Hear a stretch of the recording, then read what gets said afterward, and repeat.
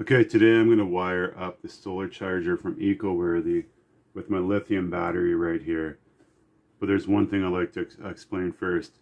You should always get inline fuses. The fuses will go from your battery on the positive to your positive on the charger, the battery right here. And I'll show you how to do that. You can pick up a bag like this for $14. There's a lot more that come in the package on Amazon for $14 and then you can get a little box of fuses over here that has half an amp, one amp, two amp, three amp, four amp, five, six, and eight, 10, and 15 amps fuses. Slide it up there. So this is basically what it is. It comes like that. There's no fuses. There's no fuses in this package. But uh, select the fuse that you want. I already have one selected out. And you just want to set it right in here. Hold that. Oops. I might get lost there a couple times and just twist it shut. Okay, perfect. This is the battery I'm using. I'm just going to set that off to the side for now. And this is the charger from EcoWorthy. It's a model XMYK3220 Specs are 24, uh, 12 to 24 volts, 20 amps max. As you can see, has the terminals right here. Solar panel, battery, and auxiliary. Always remember this step. Always hook the battery up first, and then you hook up the solar panel. And then you hook up your power, either it be from here or from the USB ports, which are quite handy to have. So I'm going to show you how to connect this. Always double check the polarity, which one's positive and negative. This one right here, we're going to attach right here, as you can see on the camera. The battery's in the middle, so if you need to count over, that's positive, negative, positive. So one, two, three. You always want to make sure that it's in the correct places. And it might help you if you use a magnetic screwdriver when you're doing this. That way you're not catching it every time you drop it. So you want to take your fuse end with the terminal on, on the other end for the battery just go like that. Then you want to bend it a bit without breaking it. So let's take the screwdriver, we'll hold this right here. And if it takes you a few times, make sure uh, you do it over and over until you get it in there correctly. You don't want to be able to pull it off or fall off because it can become a hazard. So that's connected to the positive right there. And that will go to the battery when we're done. Now, I already have a wire made up. You want it to, this is the negative wire. It would go from here to here. So, it would go from there to there. So, once again, double check everything's good right there. The sequence is very important. Do your battery first. And then you do the, the solar panel terminals.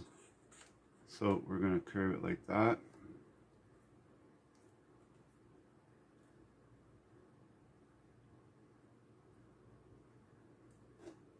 Okay, lift this back up. Make sure negative, the polarity is negative. Yep, definitely. Always. Lithium battery fires can be very dangerous. Are very dangerous, so you have to be very careful. Take the extra time, there's no rush. Like I said, use a magnetic screwdriver. Make sure it's tight. Tight. Okay, so that's connected. This is the battery right here. It's an EcoWorthy LiFePro 4. Uh, 12 volt 10 uh, lithium iron phosphate battery.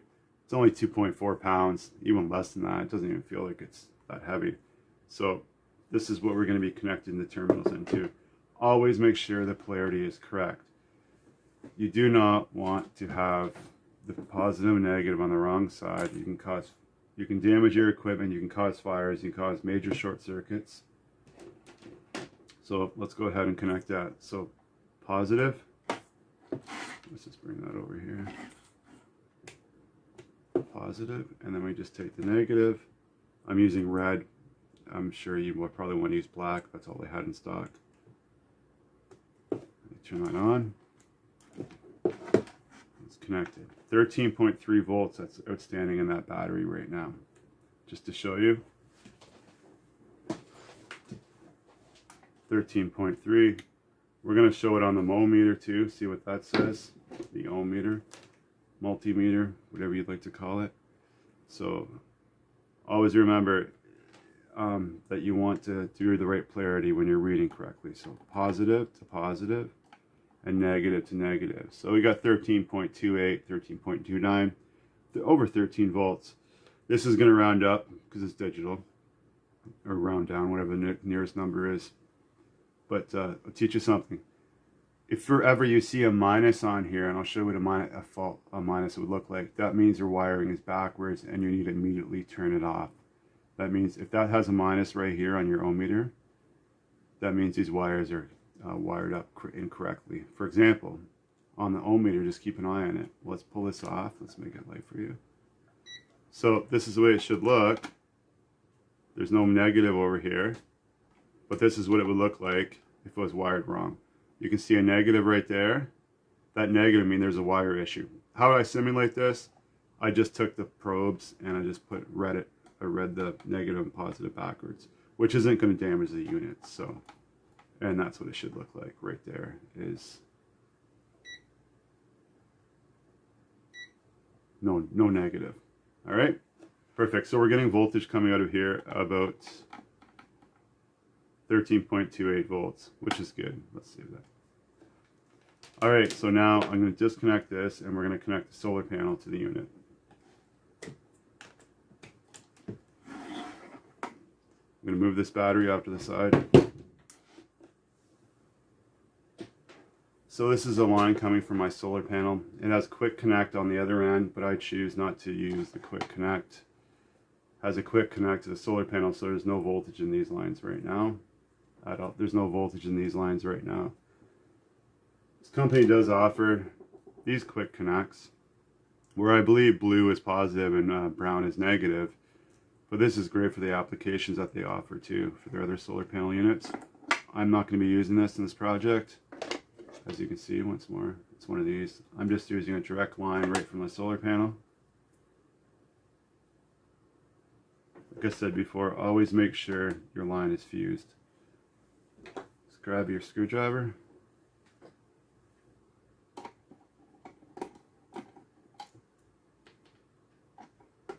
you might want to take both screws at once that way if you're a fast efficient worker you have it ready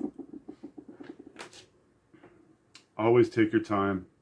Make sure the polarity is correct when you're working on here. Red is positive, black is negative, okay? So you just want to twist these a bit, and then the cable, the the solar cable. And just curve it like that. And let me just twist that again. Always make sure there's no power coming into this into your solar panel you're working on it. So, as you can see, I made a sort of a hoop upside down U, and then you just hold it there while you screw that in place. And make sure it's pretty tight, it's wrapped around there. Now you want to do the same with the black one. And if you need more room, all all means just take your scissors, your scissors, your wire cutters and cut it or strip it a little bit longer. Because it's kind of difficult if you need an extra millimeter or two and there's not enough room. So don't be cutting your wires, just extend them.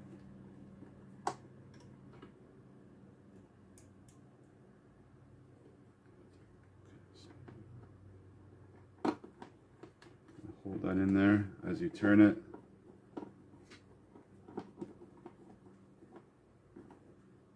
Okay, perfect. All right, so we have the solar panel connected. As you can see, we're negative to negative, positive to positive. The battery, as you can see, positive. Always make sure it's fused. Highly recommend having a fused. And the negative, this goes to the battery, as you can see. Auxiliary, I'm not going to be using auxiliary. My projects are mostly USB. It's great that has two USB chargers on here. So we're going to bring back that battery and put it back to other settings. Okay, so this is the battery I'll be using. And once again, got to pay attention closely to the polarity, okay?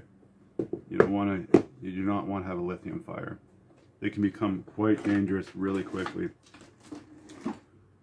So, there. Let me take the positive, always double check, positive, connect it, take the negative, connect it. Just need to connect my solar panel adapters on the other end. Clip, clip. Okay. So as you can see, we're running a 13.3 volts. That's how much power is in here.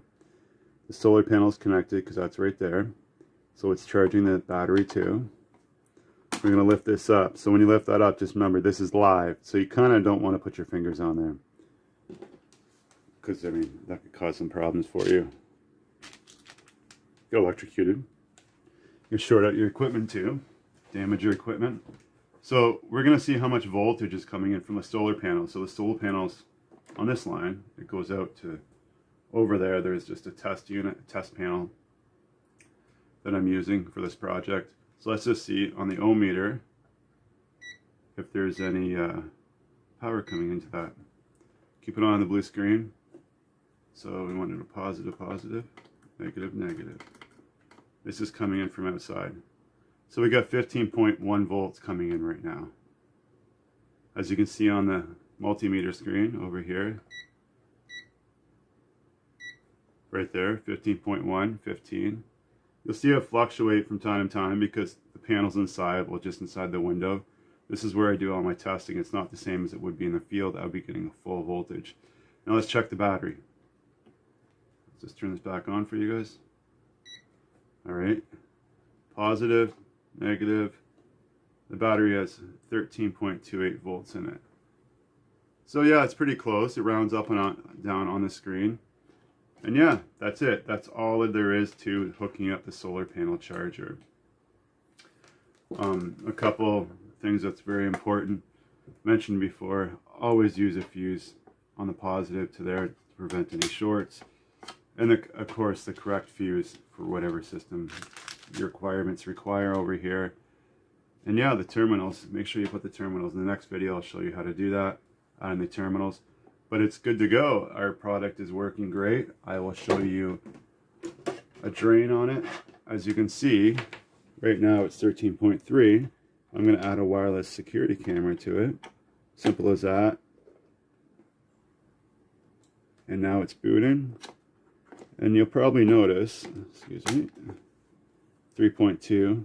It'll go down quite a, a little bit, but not much. And if you take a look at the ohm meter, it's still bringing in voltage from outside. You got 15.1. That's all solar power. And as you can see right here, 13.2, it's still charging into the battery. The battery's full. And this is the battery, 3.2 on here. And on the ohm meter, it's 3.26. So give or take some. And that's it.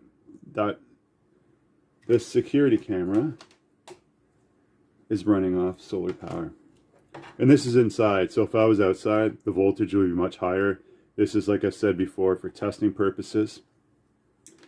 If you have any questions or comments, feel free to ask away in the comment box below. Don't be afraid to get involved with this. This whole kit is quite inexpensive and it works well. So I've been testing it for seven days. I have not encountered any issues at all with the system. Just remember, to not cross the positive and negative regardless the solar panel the battery put that down add a fuse to the line they do come some of the units do come with the, the connectors right on the end without the fuses I'd highly recommend removing that or adding an inline adding a, a fuse to the line just to be safe because you can't be with it all the time so if something does happen it'll blow the fuse for you. Anyways thank you very much for watching this video. If you enjoyed this video please like subscribe and share. Have a great day.